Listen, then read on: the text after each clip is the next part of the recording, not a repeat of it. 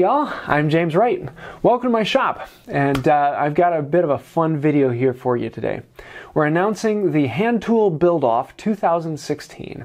This is a challenge that is really geared towards getting hand tools into the hands of people who really haven't used them before or are trying to further their shop or just trying to learn more about hand tools.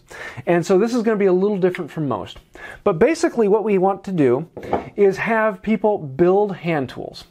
And not just with hand tools, it's not something you have to be uh, completely elitist about. If you do have power tools you want to use, great, go for it. But we're encouraging people to make hand tools in their own shop and then send them back in. And we're going to judge those and we're going to give out a few prizes.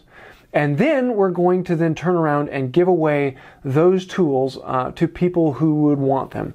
Um, people who are wanting to learn about hand tools and wanting to get hand tools into their shop. And so it's going to be kind of a two part challenge and then giveaway. So, how does the challenge work?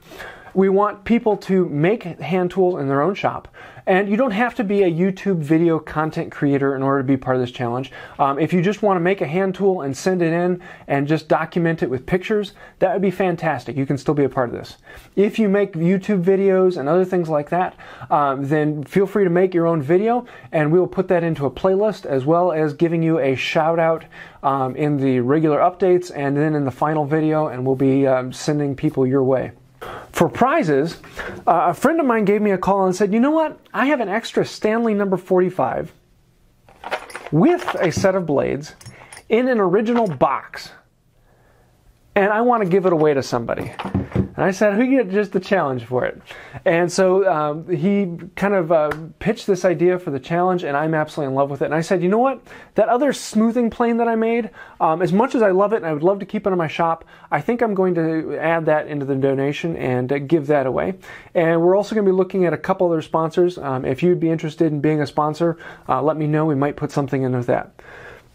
And so for the people who make a hand tool and send it in, we will then collect those hand tools and choose a winner. And first place will get the Stanley number 45. Second place will get the smoothing plane. Um, and if we have other sponsors, then we will put those in as well. And then once we get all those hand tools, we will have a giveaway to then get those hand tools into the people who uh, don't have them already. And uh, this will be a, great opportunity not only to see more hand tool videos on YouTube and other content sites, but then to get the tools into the hands of the people who, uh, who could really use them.